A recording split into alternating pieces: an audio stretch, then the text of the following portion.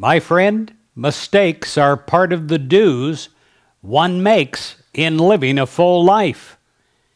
Now, everyone has made mistakes, and life is a struggle at times.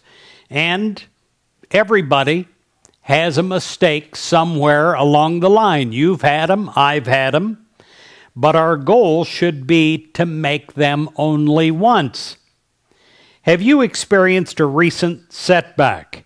If so, look for the lesson that God is trying to teach you. Instead of complaining about life's sad state of affairs, learn what needs to be learned, change what needs to be changed, and move on. View failure as an opportunity to realign your life with God's will. Listen to what it says in Psalms 40, verse 1 and 3. I waited patiently for the Lord. God turned to me and heard my cry.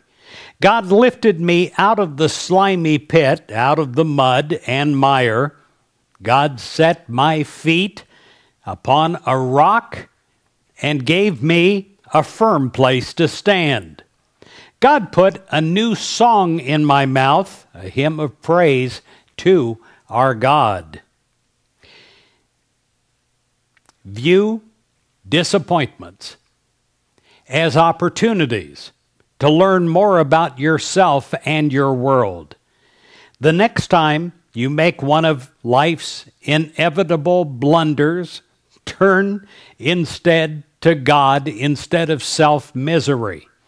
Choose to turn your misstep into a stepping stone, and then step right past failure into success.